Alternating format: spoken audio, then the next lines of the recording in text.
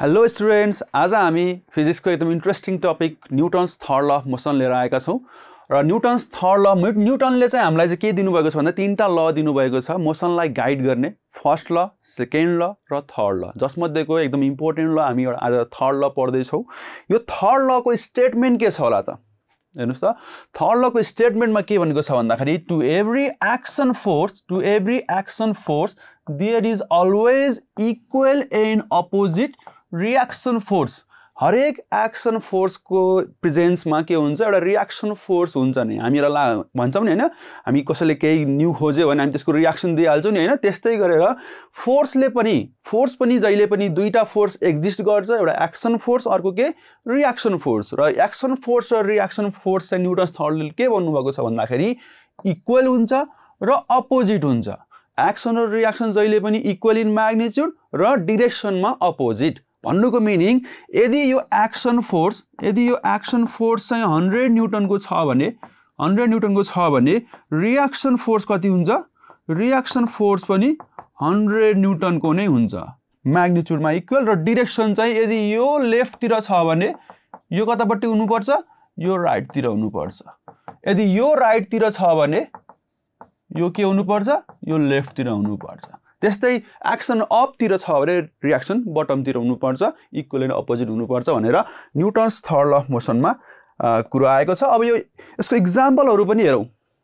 कहाँ कहाँनिर चाहिँ हाम्रो एक्सन एन्ड रियाक्सन फोर्सहरू हुन्छ हाम्रो डेली लाइफमा हामी कहाँ कहाँ एक्सपिरियन्स गर्छौँ भन्ने कुराहरू पनि हामी इक्जाम्पलबाट अझै क्लियर हुन्छौँ।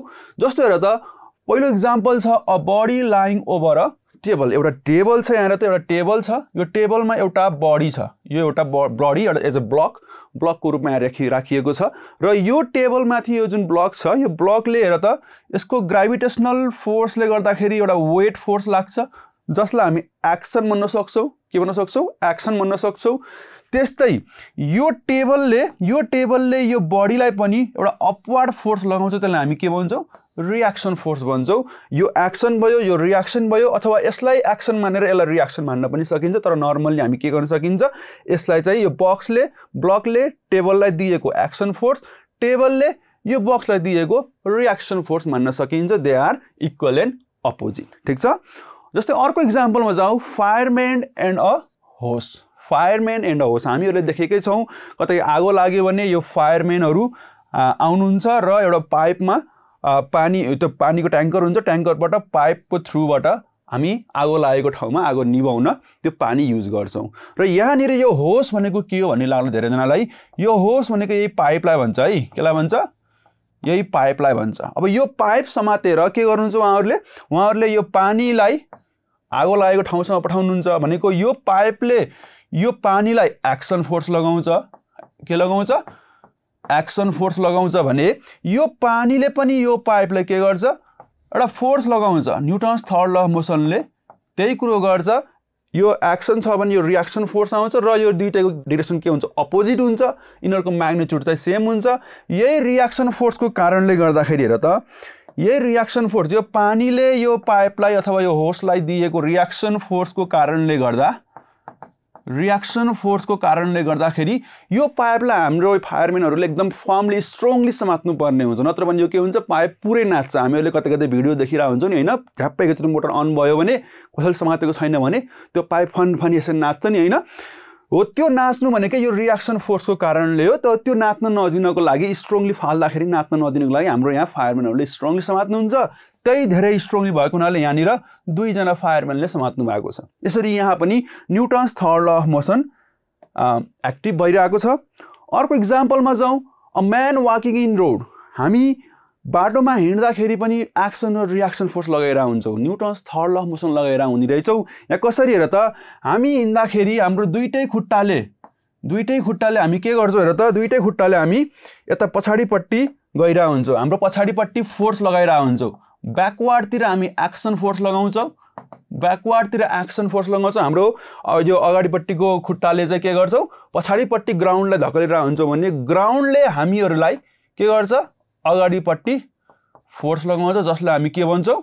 रियाक्सन फोर्स भनेर भन्छौँ र यही रियाक्सन फोर्सको कारणले गर्दा ग्राउन्डले हामीले लगाएको हाम्रो खुट्टाले लगाएको रियाक्सन फोर्सको कारणले गर्दाखेरि हामी हिँड्न सफल हुन्छौँ अथवा हिँड्न सक्छौँ। भनेको हामी हिँड्दाखेरि पनि Newton's third law of motion active हुँदो रहेछ।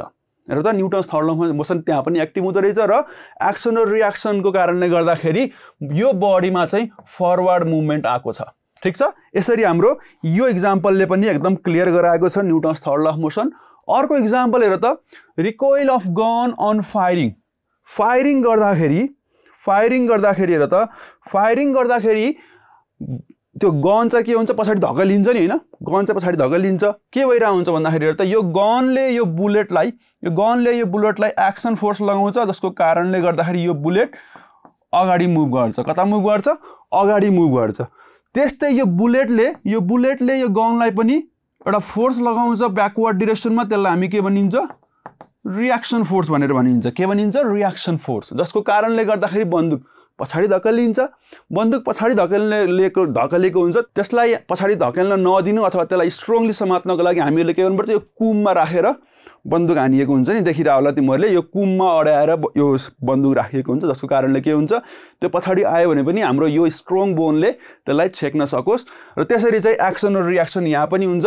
र अर्को कुरा के थाहा पाउनु पऱ्यो यहाँनिर भन्दाखेरि एक्सन फोर्स यो बुलेटमा लागेको छ। एक्सन फोर्स बुलेटमा लागेको छ। रियाक्सन फोर्स यो गनमा लागिरहेको छ। Action and reaction force acts in two different body जहिल्यै पनि जहिल्यै पनि action and reaction force act in two different body भनेर बुझ्नु पऱ्यो यसरी रिकोलिङ अफ गनमा पनि यसरी एक्टिभ हुँदो रहेछ Newton's third law of motion ठिक छ? ल अब अझ अरू इक्जाम्पल पनि जाउँ। कति इन्ट्रेस्टिङ रहेछ हेर त।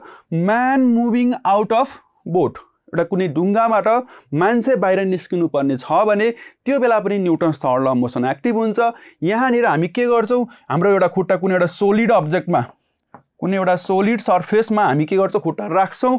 र यो बोटलाई हामी के गर्छौँ? यो खुट्टाले पछाडिपट्टि धकल्छ त्यसलाई हामी एक्सन फोर्स भन्छौँ। हामीहरूले बोटलाई एक्सन फोर्स लगाउँछौँ र यो बोटले हामीहरूलाई यो खुट्टाको थ्रुबाट एउटा रियाक्सन फोर्स लगाउँछ। के लगाउँछ? रियाक्सन फोर्स लगाउँछ जसको कारणले त हामी त्यो बोट छोडेर अगाडि पुग्छौँ। अगाडि बढ्छौँ र यो मान्छे अगाडि आउँछ यो बोट के हुन्छ? बोट अलिकति पछाडि जान्छ होइन? यसरी यहाँ पनि रियाक्सन र रियाक्सन फोर्स एक्टिभ भइरहेको छ। अर्को यहाँ त एक्सन र रियाक्सनको एउटा अर्को पोइन्ट पनि यहाँ आइरहेको छ। यो एक्सन फोर्सको कारणले गर्दाखेरि यो बोट पछाडि गयो बोट पछाडि गयो यो रियाक्सन फोर्सको कारणले गर्दाखेरि यो मान्छे अगाडि आयो। भनेको action and reaction act in two different body र तिनीहरूको इफेक्ट फरक फरक हुन्छ। है टु डिफ्रेन्ट बडी त अघि हामीले भनेकै थियौँ र त्यसको इफेक्ट हेर त इफेक्टको कारणले यो यसको एक्सन फोर्सको इफेक्टले बोर्ड पछाडि गयो रियाक्सन फोर्सको कारणले यो अगाडि गयो भनेपछि इफेक्ट फरक फरक हुँदो रहेछ एक्सन र रियाक्सन फोर्सको भन्ने कुरा पनि यहाँबाट हामीले त्यो सिग्निफिकेन्स पत्ता लगाउन सक्छौँ है। ठिक छ? भनेको यो बोर्डबाट निस्किँदाखेरि पनि हामी एक्सन एन्ड रियाक्सन फोर्स लगाइरहेको हुँदो रहेछ। अर्को इक्जाम्पल हेरौँ त लन्चिङ अफ रकेट र त रकेटहरू लन्च हुँदाखेरि पनि त्यहाँनिर पनि Newton's third law of motion active हुँदो रहेछ। साइन्टिस्टहरूले त्यहाँ पनि Newton's third law of motion use गरेर रकेटलाई माथि पठाउन सक्नुहुँदो रहेछ। कसरी हेर त यो रकेट जुन फिगरमा देखिरहेको छ यो रकेटमा हेर त यो रकेटमा यो रकेटभित्र के हुन्छ? फ्युल हुन्छ। फ्युल होइन? त्यो फ्युललाई हामी के गरिन्छ? बर्न गरिन्छ जलाइन्छ। त्यो जलाएर के गरिन्छ? यो ग्या त्यो बर्न फ्युललाई हामी स्ट्रङली पछाडिपट्टि फालिन्छ। यो ग्यासेस भनेर लेखिएको छ। स्ट्रङली त्यो रकेटले के गर्छ? तलपट्टि फ्याँक्छ by force called action action फोर्सले तलतिर फाल्छ। त्यसलाई हामी एक्सन फोर्स टर्म दियौँ। र यो ग्यासले यो रकेटलाई पनि के गर्छ? अब माथिपट्टि धकेल्छ। कसले धकेल्छ? ग्यासले हाम्रो रकेटलाई धकेल्छ। त्यसलाई हामी के भन्छौँ? रियाक्सन फोर्स भनेर भन्छौँ। रियाक्सन फोर्स भनेर भन्छौँ। र यही रियाक्सन फोर्सको कारणले गर्दाखेरि रकेट माथि माथि माथि माथि जान्छ र ग्यास चाहिँ तल तल तल तल तल आउँछ है। त्यही भएर दुइटाको इफेक्ट फरक फरक बडीमा फरक फरक देखिराखेको छ। र यो लन्चिङ अफ रकेटमा पनि Newton's third law of motion active हुँदो रहेछ। ठिक छ? क्लियर भइरहेको छ इक्जाम्पलले ल अब यसको क्वेसन कस्तो आउँछ हेरौँ त ल। एउटा क्वेसन छ यहाँनिर। क्वेसन हेरौँ त। कस्तो इन्ट्रेस्टिङ क्वेसन छ हेर है। A girl slaps a girl slaps with her hand on boy's cheek with a force of 400 Newton. With how much force does the boy cheek hit her hand? यहाँ के भइरहेको छ हेर त एउटा केटीले एउटा केटीको हातले केटाको गालामा पिटिरहेको छ पिट्दाखेरि कति फोर्स लगाएर त four hundred newton four hundred न्युटनको force लगाइरहेको रहेछ केटीको हातले केटाको गालालाई फोर्स लगायो। फोर्स सम समथिङ केही फोर्सले चट्कन हानिरहेको रहेछ। बोजले केही बदमासी गर्यो होला पक्कै पनि। अनि गजले हातले हान्नुभयो। अब हेर त यहाँनिर हातले गालालाई फोर्स लगाउँदाखेरि न्युटन्स थर्ड ल त लाग्नु लागु हुनु पऱ्यो हातले गालालाई फोर्स लगाएको छ भने गालाले पनि हातलाई फोर्स लगाउँछ। गालाले पनि हातलाई फोर्स लगाउँछ। अब त्यो गालाले हातलाई लगाएको फोर्स कति हो त भनेर सोधेको छ क्वेसनले। कस्तो इन्ट्रेस्टिङ छ है। अब यो कति फोर्स लाग्छ होला त? एनी गेस एनी गेस कति फोर्स लाग्छ होला? भर्खर हामीले न्युटन्स थर्ड ल मोसन पढेका छौँ नि। एउटा एक्सन फोर्स भयो भने अर्को रियाक्सन फोर्स हुन्छ र दुइटै के हुन्छ? इक्वल र अपोजिट हुन्छ। अब इक्वल हुन्छ भनेर हामीले म्याग्निट्युड पढिसकेको हुनाले यसको एन्सर के हो? Four hundred newton. सेम फोर्सले लाग्दो रहेछ। ठिक छ? सेम फोर्सले भनेको के? हातले केटीको हातले केटाको गालालाई चार सय न्युटनले हानेको छ भने केटाको गालाले पनि केटीको हातलाई चार सय न्युटनको फोर्सले नै हान्छ। है भनेको गालाले हातले गाला पिटेको मात्रै होइन कि गालाले अब हात पनि पिटेको। हामी के भन्न मिल्छ? एउटाले अर्कोलाई पिट्यो अर्को अथवा केटा केटाको गालाले पनि केटीको हातलाई पिट्यो भनेर भनेर भन्न मिल्छ साइन्समा है ठिक छ? र कति फोर्सले? इक्वेल फोर्सले। ठिक छ कुरो बुझिन्छ? ल अब यो क्वेसन आइसकेपछि अब हाम्रो न्युटन्स थर्ड ल मोसनको मेन मेन पोइन्टहरू के के छ त? समराइज गरौँ है त। Main points of Newton's third law of motion अब यहाँ हेरौँ त पहिलो पोइन्टले के भन्छ? Force always exist in pair force जहिले पनि पियरमा हुन्छ अरे जोडी बनाउँछ अरे के? होइन जोडी भनेको तिमीले बुझिहाल्छौ नि होइन? जोडी एक जोडीमा फोर्स आउँछ। त्यो जोडी भनेको एक्सन र रियाक्सन सिङ्गल फोर्स एक्जिस्ट गर्दैन रियाक्स एक्सन रियाक्सन फोर्स आउँछ आउँछ। ठिक छ? Always always exist in pair ठिक छ? अब सेकेन्ड पोइन्टले के भनेर त action and reaction force are equal in magnitude म्याग्निच्युडमा चाहिँ इक्वल थाउजन्ड न्युटन छ भने अर्को पनि थाउजन्ड न्युटन नै हुन्छ। म्याग्निच्युडमा यसरी इक्वल हुन्छ। अर्को पोइन्ट हेर त action and reaction force are opposite in direction direction opposite हुन्छ। हामीले यत्रो पाँच छवटा इक्जाम्पलमा त्यही नै देखेका छौँ। एक्सन फोर्स लेफ्टतिर छ भने रियाक्सन फोर्स राइटतिर अनि अपवार्ड छ भने रियाक्सन फोर्स रियाक्सन फोर्स डाउनवार्डतिर तिमीतिर एक्सन फोर्स छ भने मतिर के हुन्छ? रियाक्सन फोर्स हुन्छ डिरेक्सन अपोजिट हुन्छ भनेर हामीले धेरै इक्जाम्पलहरू कुरा गरिसकेका छौँ। यो पोइन्टहरू तिमीहरूले याद गर्नु पऱ्यो अर्को पोइन्टले के भनिरहेको छ भन्दाखेरि action and reaction force act on two different body दुईवटा फरक फरक बडीमा के हुँदो रहेछ? Action and reaction force act हुँदो रहेछ लाग्दो रहेछ। फरक फरक बडीमा है बडी एमा एक्सन फोर्स लागिरहेको छ भने बडी बीमा रियाक्सन फोर्स लाग्छ। ठिक छ? त्यस्तै अर्को पोइन्ट हेर त दे नेभर क्यान्सल आउट तिनीहरू कहिले पनि क्यान्सल आउट हुँदैन अरे तिनीहरूले कहिले पनि क्यान्सल आउट हुँदैन। क्यान्सल आउट हुँदैन भन्नुको मिनिङ के?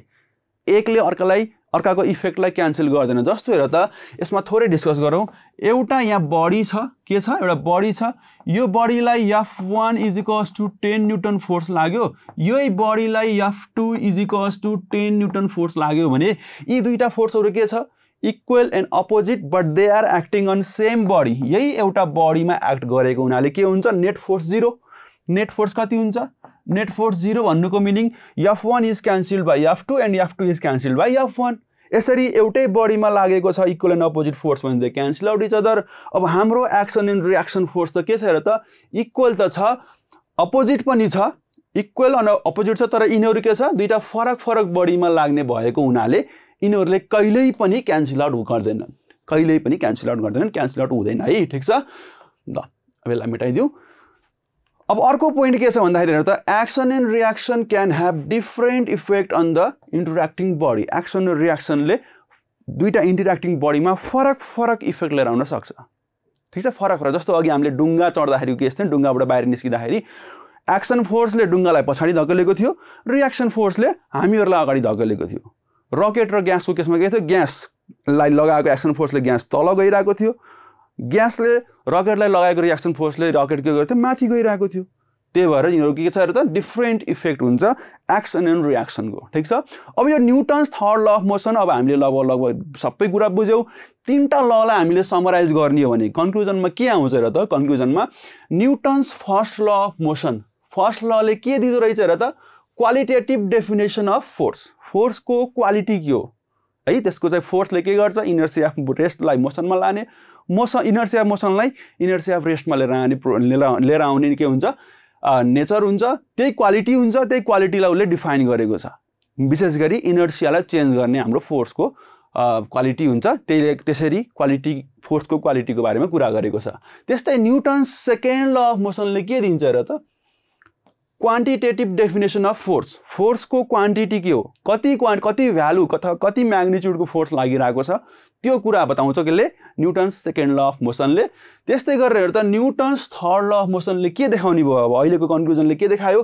फोर्सको नेचर डिफाइन गर्यो। फोर्स कस्तो छ? फोर्सको नेचर भन्नाले त्यही पियरमा एक्जिस्ट गर्छ इक्वल एन्ड अपोजिट हुन्छ त्यसको इफेक्ट फरक फरक हुन्छ तिनीहरू क्यान्सल आउट हुँदैन यस्ता यस्ता नेचरहरू फोर्सको बारेमा भनेको हुनाले न्युटन्स थर्ड ल मोसनले नेचर अफ फोर्सको बारेमा डिस्क्राइब गर्छ भनेर हामी भन्न सक्छौँ। ठिक छ?